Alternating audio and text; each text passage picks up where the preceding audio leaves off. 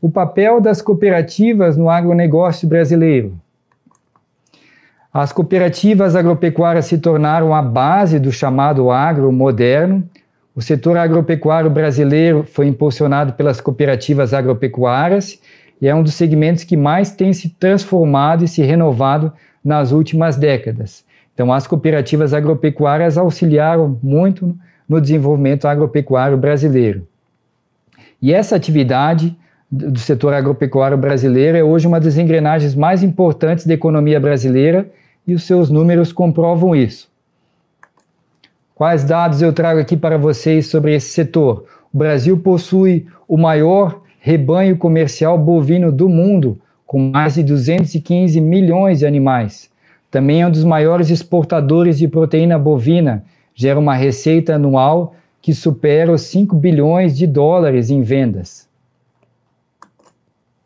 O professor Dr. Paulinelli, que foi indicado ao Prêmio Nobel da Paz em 2021, desenvolveu um modelo de produção rural sustentável perfeitamente adaptado ao cooperativismo.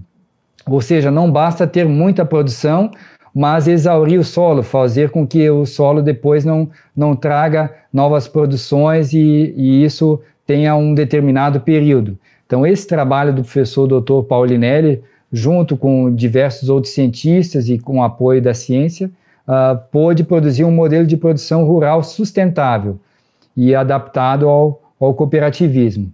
Por isso, o Dr. Paulinelli é considerado o pai da agricultura moderna no Brasil e tudo que fez foi com base em ciência, com base em conhecimento científico. Para se ter uma ideia, as cooperativas agropecuárias são responsáveis por originar 53% de tudo que se produz na agropecuária nacional. Então, as, as cooperativas agropecuárias possuem um papel fundamental, possuem mais de 50%, mais da metade da produção da agropecuária nacional. O agronegócio foi responsável por quase metade das exportações totais do país no ano de 2020, com participação recorde de 48%, totalizando 100,81 bilhões de dólares no ano. E esse foi o segundo maior valor da série histórica, de toda a série temporal. No ano 2020, o valor bruto da produção agropecuária do Brasil chegou a 871,3 bilhões de reais, esse corresponde a um crescimento de 17%, o maior número da série histórica desde o ano de 1989. E a Conab, em seu sétimo levantamento de safra de grãos de 2020 para 2021, estima que a produção brasileira de grãos deve atingir pela primeira vez na história 273,8 milhões de toneladas, crescimento de 6,5% sobre a safra passada. O Brasil possui mais de 1,2 mil cooperativas agropecuárias que congregam aproximadamente um milhão de produtores rurais cooperados, empregando 207 mil trabalhadores de forma direta. Em estimativa preliminar, as cooperativas agro-brasileiras tiveram resultado consolidado em 2020 acima de 245 bilhões de reais em ingressos. Outro dado interessante, segundo dados do Censo Agropecuário 2017, 53% da safra brasileira de grãos é proveniente de produtores rurais associados a cooperativas, a cooperativas agroindustriais.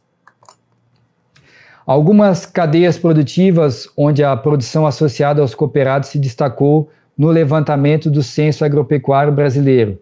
75% do trigo, 55% para o café, milho 53%, soja 52%, suínos 50%, leite 46% e feijão 43%. Outro destaque do cooperativismo no censo: a assistência técnica recebida pelos produtores rurais, do montante de respondentes que declararam ser cooperados, 63,8% recebe assistência técnica, enquanto apenas 20,2% do montante total de produtores tem acesso a esse serviço. E dados do IBGE apontam que 71,2% dos estabelecimentos rurais de produtores associados a cooperativas são do perfil da agricultura familiar.